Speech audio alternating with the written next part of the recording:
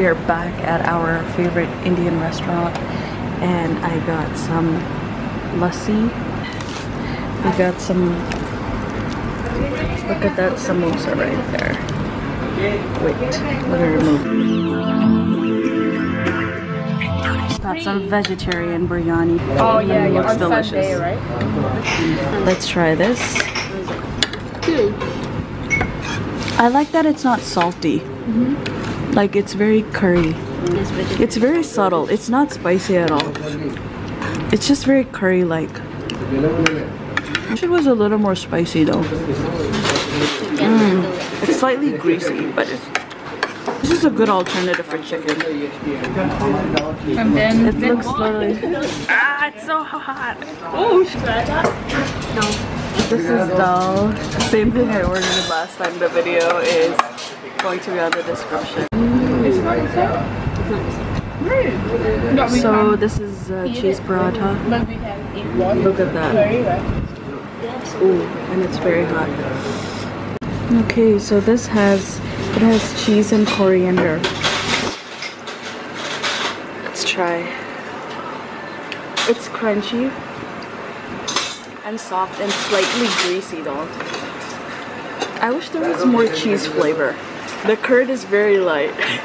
And um, it has some herbs inside and it's slightly spiced. Interesting.